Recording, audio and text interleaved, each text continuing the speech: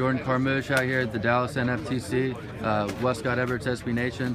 Uh, you ready to get open today? Oh, definitely, definitely. Um, anybody that you're looking to compete with out here in one-on-ones? Uh, everybody really. Everybody's competition. Any of those Houston area guys that, that you want to go up against? My boy Darius. Darius Anderson, right? All right, what's up, Darius? What's Uh, Jordan. Okay, so uh, any recent visits for you besides the Texas Junior Day? Uh, A&M, Arkansas, and Oklahoma. Uh, A&M, Arkansas, and Oklahoma.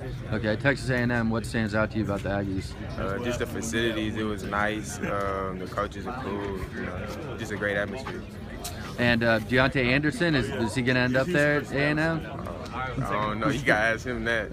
All right. Yeah, he hasn't said anything to you about his recruiting Nah, process. that's it. Okay. And um, Oklahoma. Uh, what stood out to you about Oklahoma? Uh, the coaches, they was they was cool too. Uh, Coach Stoops, Coach Kish, all of them was cool. The, the atmosphere, the tradition, things like that. Okay. And um, you said another one, Arkansas, in there. Yeah. Uh, what did you like about Arkansas? Uh, the same thing. I mean, I mean, they was one of my first offers. So, I mean, they just been there since the beginning, things like that. I love Coach Bielema. I love all of them. So that's just it. Uh, the SEC, a couple SEC schools in there. Is that a, a conference that's appealing for you to play in? Uh, definitely, best of the best.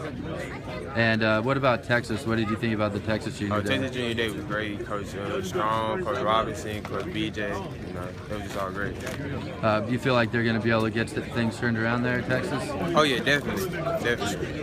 And uh, were the Longhorns a program that you followed growing up, or did you have any favorites when you were younger? I really didn't have a favorite. I mean, I watched them when they had Vince Young, but I really didn't have a favorite. So. Okay. And um, any uh, upcoming visits planned for you? Any places you want to go to? I think I'm going to Baylor for the Friday Night Lights scrimmage on the 20th, and that's all I know of right now. Have you been up to Baylor before?